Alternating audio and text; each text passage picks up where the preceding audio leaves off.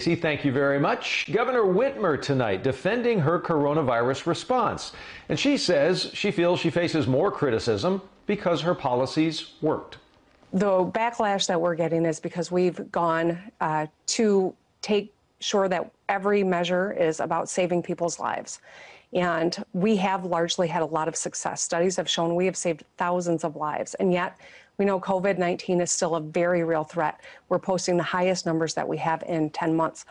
Other governors are getting a backlash because they haven't done enough, and people have been dying on their watch. Governor Whitmer, by the way, also says she has seen governors come together to help each other out. Millions of